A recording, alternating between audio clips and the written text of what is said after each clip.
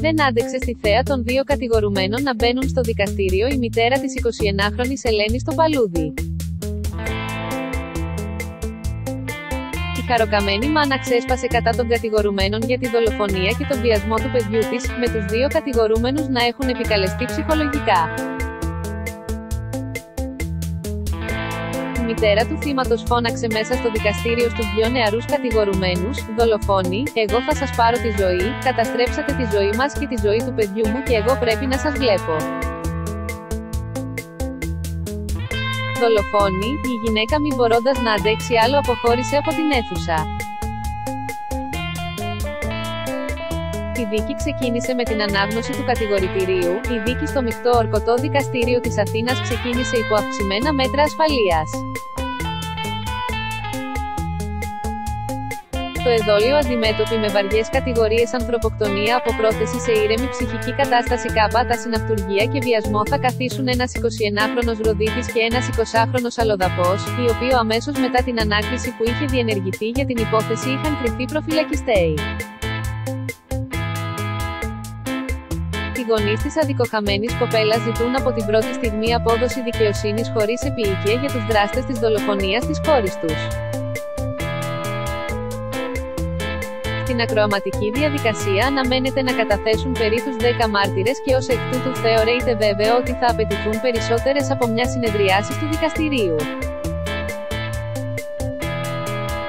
Την απόφαση για διεξαγωγή της δίκης στην Αθήνα έλαβε ο Άριος Πάγος, μετά από αίτημα του εισαγγελέα Α εφετών δωδεκανήσου προκειμένου να αποφευθεί ο κίνδυνος επεισοδίων που θα προκαλέσουν δυσχέρειες σίγμα τη διεξαγωγή της. Το κουβάρι της τυγερής δολοφονίας της νεαρής φοιτήτριας άρχισε να ξετυλίγεται την 28η Νοεμβρίου το Y2018, όταν ένα ζευγάρι διαπίστωσε πως στην παραλία Φώκια στην Ρόδο να πλέει ένα γυναικείο σώμα. Η σωρός που ανεβρέθη ανήκε στην Ελένη το Παλούδι, φοιτήτρια μεσογειακών σπουδών στο Πανεπιστήμιο Αιγαίου. Από τις έρευνες των αρχών που ακολούθησαν εντοπίστηκε αρχικά ο ένας από τους δύο δράστες, αλβανική σίγμα καταγωγής, με τον οποίο η άτυχη κοπέλα είχε συναντηθεί το βράδυ της δολοφονίας της.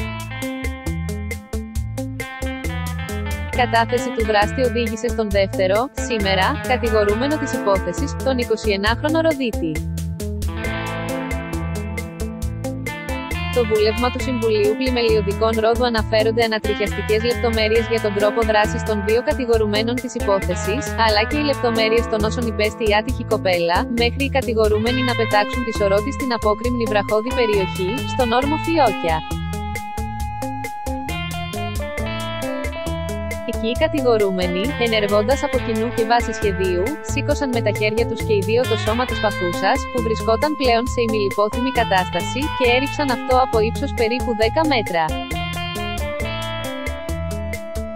Στη θάλασσα αναφέρει το βούλευμα και συνεχίζει, από την ενέργεια τους αυτή σε συνδυασμό με τις ήδη προκληθήσεις στην παθούσα σωματικές βλάβες, κρανιοεγκεφαλικές κακώσεις, διάχυτη εγκεφαλική αιμορραγία και είδημα που είχαν προκληθεί από τα χτυπήματα στο κεφάλι της, οι οποίες καθιστούσαν αδύνατη οποιαδήποτε προσπάθεια της παθούσας να κινηθεί αποτελεσματικά ώστε να επιπλέψει, επήλθε ο θάνατος της σίγμα συνεπία πνιγμού.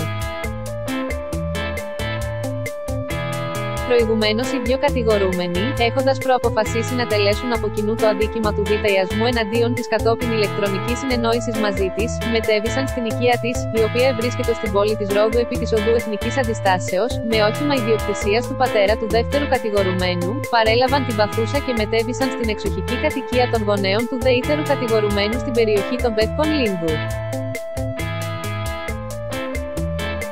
Εκεί η άτυχη κοπέλα αρνήθηκε συνουσία με τους δύο δράστες, οι οποίοι την απείλησαν με μαχαίρι, τη χτύπησαν με γροθιές στο πρόσωπο και τη βίασαν. Σύμφωνα με τα στοιχεία της υπόθεσης, η Τοπαλούδη ανακτώντας μετά από λίγο τις αισθήσεις της, δήλωσε στους κατηγορούμενους την πρόθεση της να τους καταγγείλει στην αστυνομία, πυροδοτώντας έτσι το θύμο τους και παράλληλα την ανησυχία τους ότι θα συλληφθούν και θα υποστούν ποινικές κυρώσεις για την ανωτέρω συμπεριφορά τους. Εν ώψη αυτής της δυσάρεστης για εκείνους προοπτικής, οι κατηγορούμενοι προέβησαν τότε σε στάθμιση ταφών δεδομένων και αποφάσισαν από κοινού τη φυσική εξόντωση της παθούσας ώστε να αποκλείσουν κάθε πιθανότητα μελλοντική σε βάρος τους καταγγελίας.